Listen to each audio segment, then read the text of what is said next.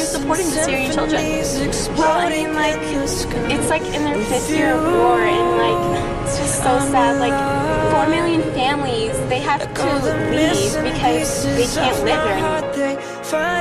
So Kendall, what are you going to do to help these Syrian children? I'm like, I'm gonna try to donate as much as I can to help these families and children. I mean, like, they're suffering so much.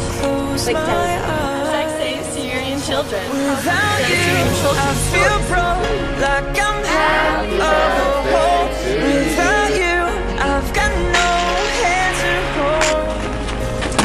Without you, I feel torn like a sail in a storm.